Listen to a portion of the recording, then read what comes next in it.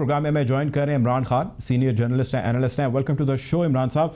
ये बताएँ, खान साहब, कि जो ये हज़ारा कम्युनिटी का एहतजाज वजी अजम के वहाँ पर आने से मशरूत किया जाना, जो दे धरना था, फिर अपोजिशन का वहाँ पर पहुँचना वेरी प्रिसाइज क्वेश्चन तकरीबन दो हज़ार से जायद हज़ारा बरदरी के लोगों ने जाम शहादत नोश किया इन गुज्त बीस सालों में। इन 20 सालों में अगर तो सियासत करनी है तो हम अदवार निकालें और ड्यूरेशन निकालें तो फिर एक हम ब्लेम गेम है जिसमें पड़ जाएँगे। आप ये बताइए कि इन लोगों के साथ क्या आज भी सियासत की जा रही है?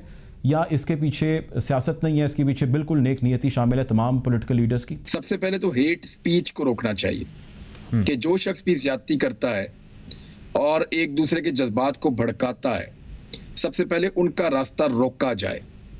देखिए ऐसा नहीं होगा कि आप पहले दिन आएँगे और आके आप सब कुछ ठीक कर देंगे। लेकिन आपको कुछ उसूल बनाने पड़ेंगे। ये उसूल बनाने पड़ेंगे कि आप अपना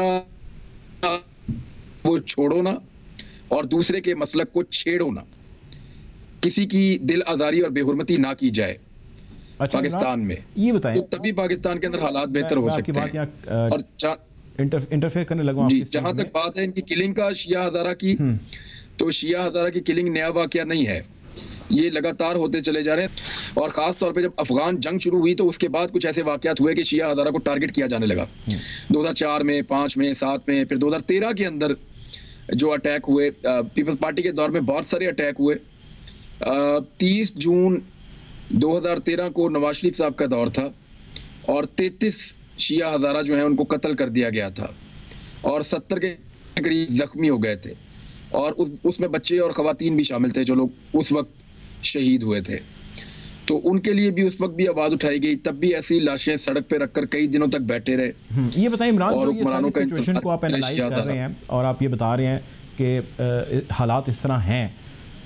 तीसरी कुत या इंतशार पसंद जो लोग हैं या कुतें हैं वो इसको आपको लगता है एक्सप्लॉयट कर सकती हैं या करती हैं? या जिस तरह गवर्नमेंट भी कहती है इसमें इंडिया का बहुत बड़ा हाथ है इन्वॉलमेंट है? देखें इस तरह जान नहीं छूटेगी। इंडिया पाकिस्तान में दहशतगर्दी करवाता है करवानी चाहिए उसको उसका ये काम है। वो देखें उनकी एजेंसी तनख्वाह लेती हैं किस काम की लेती हैं? यही करने की लेती हैं ना। हम्म। तो आपने पाकिस्तान में ये दहशतगर्दी होने से रोकना है। फिर ये नौजवान ईंधन बन जाते हैं। फिर ये नौजवान बारूद का ढेर बन जाते हैं। फिर इनको चाहे चिंगारी इंडिया दे चाहे अमेरिका दे चाहे इसराइल दे चाहे अफ़गानिस्तान दे कोई भी दे। वो तो तैयार बैठे हैं फटने के लिए। वो तो तैयार बैठे हैं। इनको तैयार करने की जो नर्सरियाँ हैं वो ऐसी हेट स्पीचेस वहाँ पे हो रही हैं और लगातार हो रही हैं और दोनों तरफ़ से हो रही हैं। इनको रोकना पड़ेगा। बेहरमती और दिल आजारी बंद करनी पड़ेगी। एक दूसरे के फिरके के अंदर मुदाखलत को बंद करना पड़ेगा। जो पाकिस्तान का कानून है उसको उसको नाफिज करें ना पूरी तरह ताकि ये नया खून ना मिले इस लड़ाई को। इस लड़ाई को नए लड़ाका ना मिले। नए लड़ाके ना मिले तो उसके लिए ज़रूरी है कि के कानून पे अमल होना जो है वो ज़रूरी है हेट स्पीच का बंद होना ज़रूरी है। बहुत शुक्रिया जी हमारे साथ इमरान खान मौजूद थे सीनियर जर्नलिस्ट हैं एनालिस्ट